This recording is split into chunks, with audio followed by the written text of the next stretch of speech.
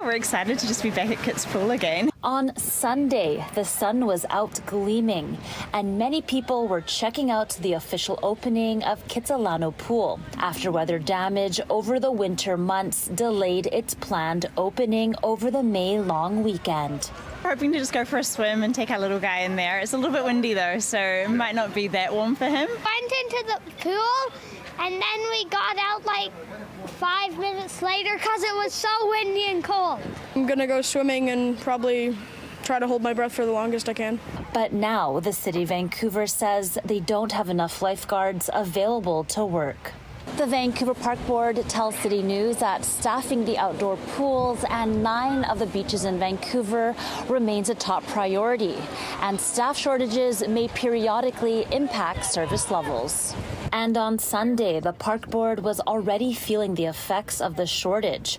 On social media, they posted Spanish Banks West and Sunset Beach will be unguarded today their outdoor aquatic services team will be taking a prioritized approach to deploying outdoor lifeguards, focusing first on outdoor pools and then beaches based on staffing availability to avoid changes to pool operations. Would you go swimming at a beach if there was no lifeguards? I would, but I probably wouldn't let my kids. Just I like the safety of having the lifeguards on the beach, keeping an eye on things. We swam at Spanish Banks yesterday and the tide was so strong, so I would be worried about kids maybe kind of getting swept away by the tide or the current. Some parents here prefer taking their children to a pool rather than a beach. I think it's a lot safer. Um, certainly, if you look at Kits Beach today, it's pretty choppy out there. So I think Kits Pool is just nice and there's lifeguards, and yeah, it's just a really cool environment here. The lifeguard shortage isn't exclusive to Vancouver.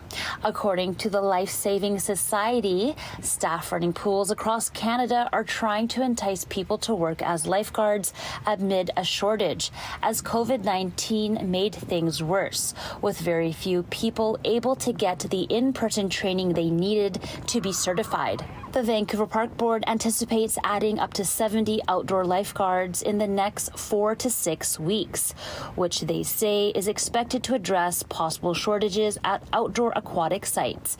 In Vancouver, Angela Bowers, City News.